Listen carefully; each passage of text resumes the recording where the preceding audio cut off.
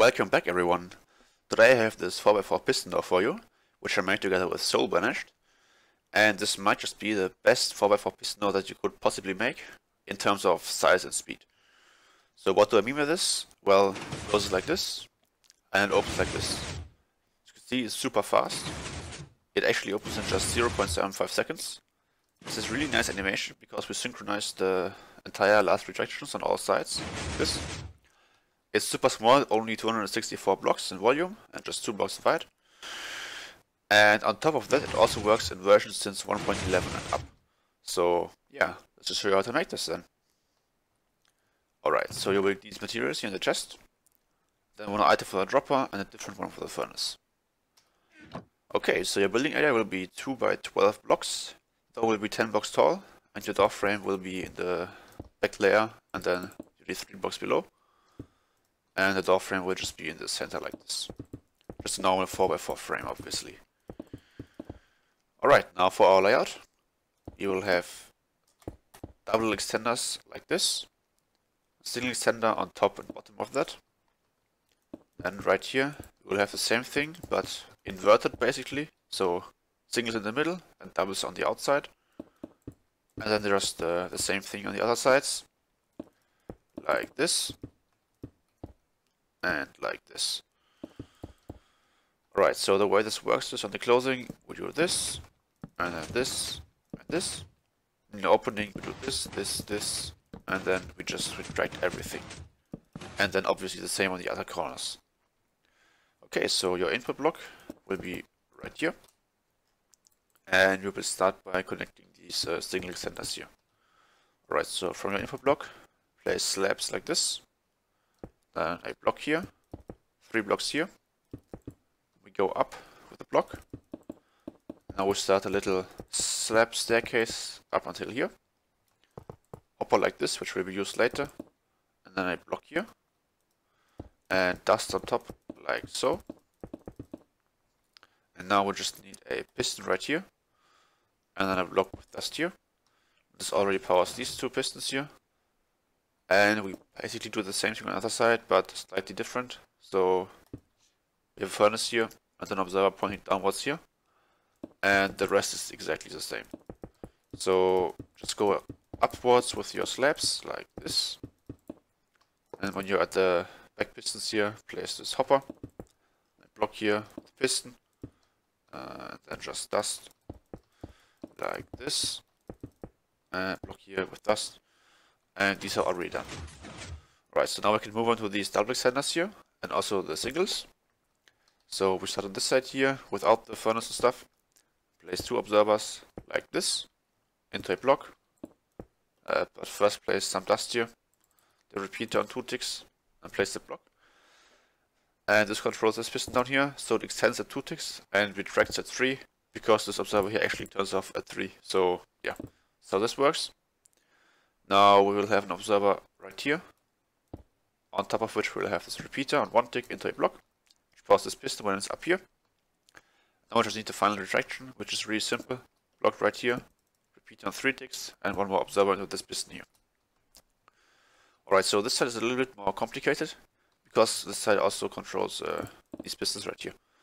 So first we need a dropper, which we place so it faces into this furnace here item inside and then a different item in the top slot of the furnace. Now, observer like this. Dust here, repeater and two ticks, so this is the same basically. And now coming out from the observer here, two more like this, into a activator rail, and then two observers, and then repeater into a block. So this will do, the rail gets powered by this block here. We have the two observers, which is basically the same as this. But then for the last retraction, we power this rail again with these observers, and then these here give the last pulse. Right, so now to control these pistons here, you'll have these two observers, and then this piston here, which pushes and pulls the block. But um, you notice these retract too early, it's not synchronized at all. So what we need to do is place a sticky piston right here, redstone block right here, two observers coming out from this one, like this, and then a block here. So what this does is uh, when we unflick the lever, this redstone block gets pulled back and keeps this piston powered. So that uh, this doesn't retract after 2 ticks, but instead it retracts when uh, these observers here push away the redstone block here. And this is how we synchronize it. Right, so that's actually already the bottom done. And we can move on to the top. Okay, so let's just fill in the frame. And the first thing we will do is place two repeaters like this. And then also some dust here and here. Right, now blocks on top of those. Two tick repeater here. And then a two tick and a four tick like this. Two blocks and dust. And this is just uh, powers these two pistons here. The correct times for the closing and opening. Right, next up we power these back pistons here. And to do this, we place an observer with a block. Sticky piston with a block like this. So this uh, block will get pushed here, and that dust powers it, which powers the piston.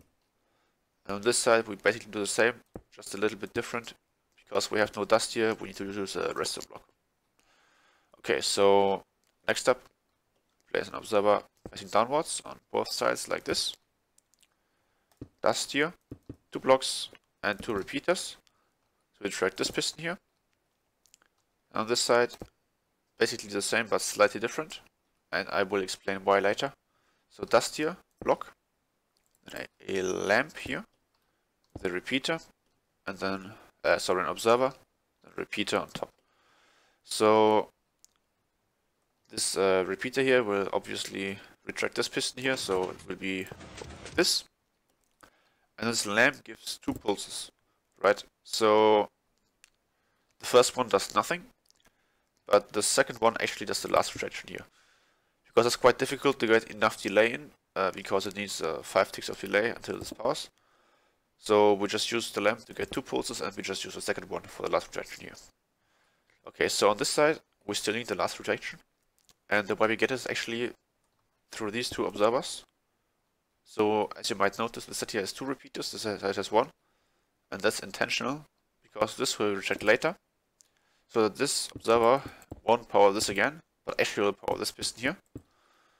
Um, I won't go into the details why this works, but uh, it just works, trust me. And if we test it right now, it actually won't entirely work because it relies on the sides. But we should see this side working here. So yeah, this side worked. And this needs the sides to work. So yeah, let's just do the sides right now. So we'll have an observer right here. And one right here, obviously. With rails on top. And these rails will be getting powered by redstone blocks, like this. And then just reset this. So what we'll have now is a sticky piston here. And a sticky piston here. So these back pistons need to um, get powered at 4 ticks in the closing, but 3 ticks in the opening. So how do we do this? Well, on the opening, this redstone block here will be removed after 2 ticks. But this is also when this observer turns on. So this rail actually turns off after 3 ticks. So we kind of use this observer here as a pulse extender. Which means that this uh, turns on after 4 ticks on the closing. Which is what we want. And on the opening, both redstone block and the observer here will turn on at 3, uh, at 2, so this turns on at 3, and this is how we get different delays on the closing and opening. Alright, so now all that's left is to control these uh, front pistons here, which will be done through these observers here, which will power this dust and which powers the wall. But for now, just keep it like this. So the way we control these is by having this observer here, and a piston uh, one block lower, observer like this, a piston here, a block like this. And the same thing on this side, like so. And then obviously the dust here on the block. So what will happen on the closing? This will get powered and nothing happens, obviously, because it's already here, so it doesn't push it up.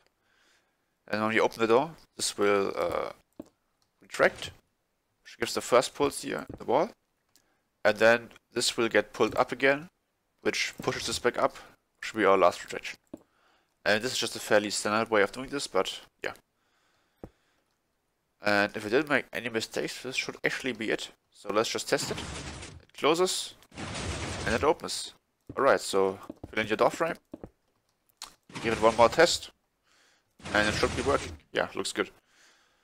Alright, so I really like the store and I wanted to show it to you. And I hope you enjoyed the video and thank you for watching.